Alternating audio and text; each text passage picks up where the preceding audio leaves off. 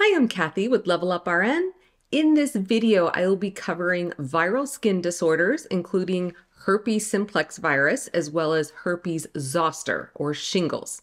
And at the end of the video, I'm going to give you guys a little quiz to test your knowledge of some of the key points I'll be covering, so definitely stay tuned for that and I will be following along with our Level Up RN medical surgical nursing flashcards. If you have our flashcards, definitely pull them out so you can follow along with me and be sure to pay close attention to the bold red text on the cards because these represent the most important facts that you are likely to get tested on in nursing school.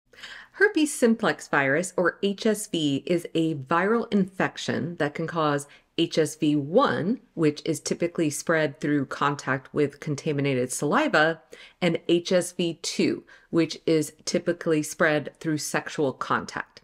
So, after becoming infected with the virus, the virus remains dormant in the nerve ganglia until it becomes activated during times of stress. Symptoms of HSV include painful vesicular lesions and ulcers on the mouth and lips for HSV1 and on the genitals for HSV2. And often pain, burning, and or tingling may precede the appearance of these vesicles. Fever and malaise are other symptoms associated with HSV. Clinical examination and serological tests can be used to diagnose HSV. There is no cure for the virus, but antiviral agents can help to decrease the severity and frequency of outbreaks. In addition, analgesics as well as topical anesthetic agents can be used to address pain. In terms of patient teaching, as the nurse, you want to reinforce the importance of using condoms as well as abstaining from sexual activity when lesions are present. Moving on to herpes zoster now. Herpes zoster or shingles is a viral disease that is caused by reactivation of the varicella zoster virus, which is the virus that causes chickenpox. So after a chickenpox infection, the virus will remain dormant in the nerve ganglia until it becomes reactivated by a trigger, such as immunosuppression, infection, stress, or fatigue. And as you all know, stress and fatigue are very common in nursing school, and that is how I ended up with shingles when I was a nursing student. In terms of signs and symptoms, patients will often have abnormal skin sensations, such as a burning feeling, as well as fever and malaise before the lesions appear. They will then get a painful, unilateral, vesicular rash that runs along a dermatome. So this rash may appear on one side of the face or on one side of the torso, which is what I had. Clinical examination or a PCR test of the vesicle can be used in the diagnosis of shingles.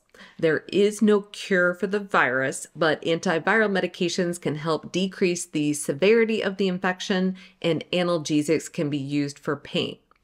Patients with shingles will need to be placed on airborne and contact precautions until the lesions have crusted over.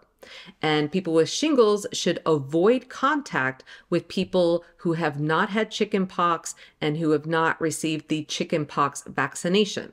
So, to be clear, someone with shingles can't give someone else shingles, but someone with shingles can give someone chickenpox if they are susceptible. An important complication of shingles that's definitely important to know is something called postherpetic neuralgia. This is where the patient has pain that can last for months or years after the rash disappears. It's also important to note that there is a vaccine available that can help prevent shingles. So the CDC currently recommends that adults over the age of 50 receive this vaccine. All right, it's time for a quiz. I've got three questions for you. First question Antiviral medications are used to cure herpes simplex virus. True or false? The answer is false. So, antiviral medications can help decrease the severity and frequency of outbreaks, but they do not cure the virus. Question number two what is the name of the virus that causes chickenpox and shingles? The answer is the varicella zoster virus. Question number three. Blank is a complication of shingles that causes pain that can last for months after the rash clears up. The answer is postherpetic neuralgia. All right, I hope you did great with that quiz and I hope this video was super helpful. If so, be sure to hit that like button. Take care and good luck with studying. In this video, we will be discussing viral skin disorders, including herpes. And as always, I will be following along with our Level Up RN flashcards. These are our, our, our, our, our.